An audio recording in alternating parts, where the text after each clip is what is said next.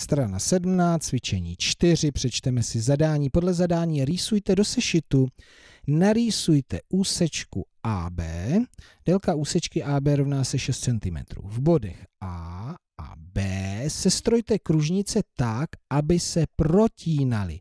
Kružnice libovolně popište, e, změřte jejich poloměry a proveďte zápis. Takže co se po nás chce? Ukážeme si v náčrtu. Máme mít nějakou úsečku, o které víme, že měří přesně 6 cm. 6 cm. No a máme narýsovat libovolné dvě kružnice. Jedna bude mít střed v bodě A, druhá v bodě B, tak, aby se ty kružnice protínaly, čili měly dva společné body. A ty kružnice budou libovolné. Tak jdeme na to. Tak, Vezmeme si pravítko, narýsujeme si tu úsečku. Tak, tohle je bod A. A délka úsečky je 6 cm. Takhle. Tak. Pravítko ještě budeme potřebovat. No a teďka kružítko. Libovolný. Tak. Jednu kružnici Vezmeme to opravdu od oka. No a teďka ta druhá kružnice. No. A já teďka, jak má být, čili takhle, ale pro jistotu, kdyby byla takhle, tento poloměr, tak se dotýkat nebudou, takhle se budou dotýkat v bodě dotyku a takhle se budou protínat. Tak. Takže máme tu druhou kružnici.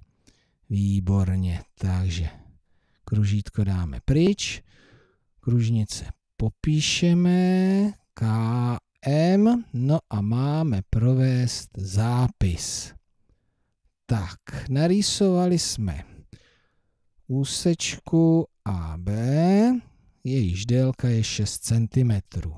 Tak, a teďka kružnici K se středem A a teďka by mě docela i zajímalo, kolik má poloměr. No, 34. 34 mm. Tak a teďka druhá kružnice. Kružnice M se středem B a poloměrem, takže Tady to je poloměr. Kolik? Hele, přesně, anebo ne přesně, no, uvidíme 39 mm. Tak, no a ještě o tom můžeme napsat, že kružnice, kružnice K M se protínají, ale teďka v bodech a ty já jsem nepopsal, takže třeba KL, bodech KL. Tak a ještě jedno zjištění. 34 mm plus 39 mm rovná se 73 a to je více než 6 cm, což je 60 mm. Takže pokud chceme narýsovat kružnice, které se protínají, musí součet jejich poloměrů být větší než vzdálenost jejich středů.